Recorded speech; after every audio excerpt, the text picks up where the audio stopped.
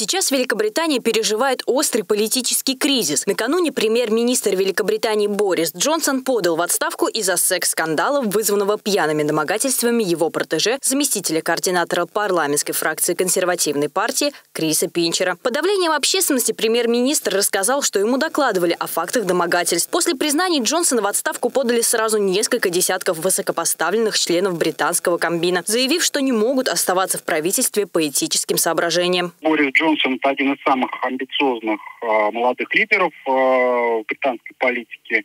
Э, последние годы он считался лидером э, консервативной партии э, Великобритании, которая имеет большинство в парламенте.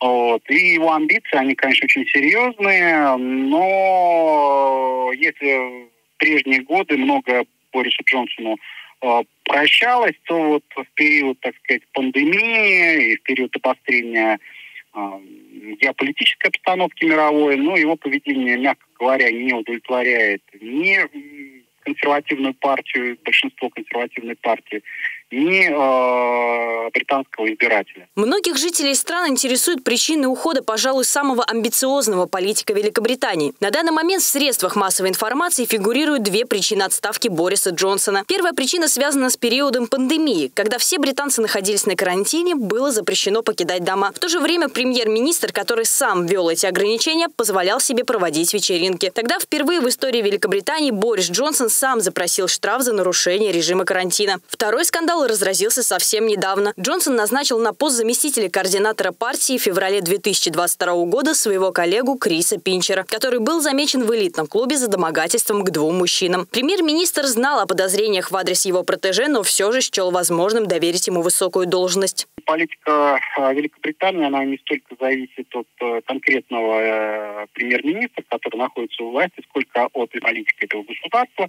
Вот. В настоящее время большинство принадлежит консервативной партии Великобритании. Она имеет большинство в британском парламенте. Ну и если мы посмотрим на расклад сил э, в партии консерваторов британских, мы увидим, что подавляющее большинство э, так сказать, лидеров этой партии, они настроены антироссийски.